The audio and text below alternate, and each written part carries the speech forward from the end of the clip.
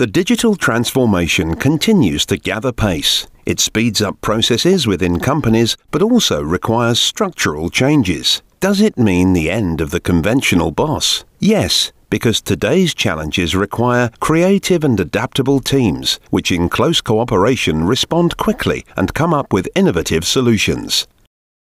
If this happened, the search for the cause of a breakdown previously started here, then later here. Today, it starts as early as here. The vehicle sends information over the air directly to the call center. The call center agent is conducting a guided fault finding review while talking to the driver. Meet Anne. She's the Human Resources Director of a UK multinational. Anne wants the best talent to join her company, grow with it, and share its success.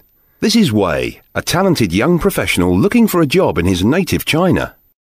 No matter what kind of video you're doing, the production follows roughly the same process. After defining the style and content of the video project, a concept or storyline needs to be created.